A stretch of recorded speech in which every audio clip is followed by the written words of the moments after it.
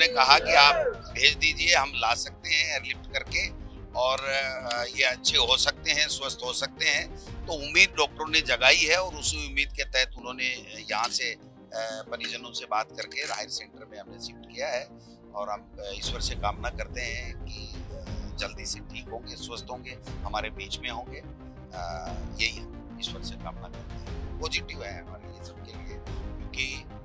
24 घंटा बेहतर घंटा क्रिटिकल होता है फिर भी ये जो समय निकला है सारे बीपी वगैरह सब डॉक्टर ठीक बता रहे हैं और जो वेदांता वाले डॉक्टर हैं वो भी कह रहे हैं कि सब ठीक हो सकते हैं आप निश्चिंत रहें आप भेज दीजिए हम ले लेंगे।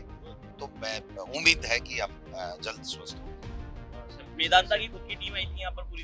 नहीं उनको रिपोर्ट भेजी थी और पूरी रिपोर्ट उन्होंने पूरे रात पर अध्ययन किया और उनको लगा कि हम सेफली इनको ठीक कर सकते हैं।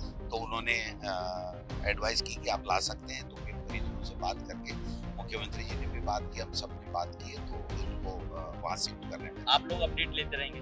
बिल्कुल क्यों नहीं लेते रहेंगे? हम वहीं रहेंगे अपडेट लेते रहेंगे हम सब साथ हैं और हम पूरी उम्मीद के साथ में हैं कि हमारा नेता अच्छा होगा आ, आप लोगों में से कोई जाएगा मैदान सभी जाना तो देखिए पहले हमारी प्राथमिकता है लाइफ सेव करें वो बचें।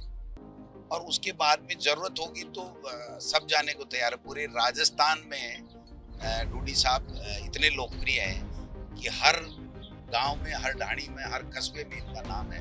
तो सब लोग चाहते हैं, लेकिन वहाँ भी आप देख सकते हैं, यहाँ कितनी असुविधा होती है जब लोग आते हैं। लेकिन जब कार्यकर्ता है, जो प्रशंसक हैं, वो आते हैं, उनको रोक भी नहीं सकते।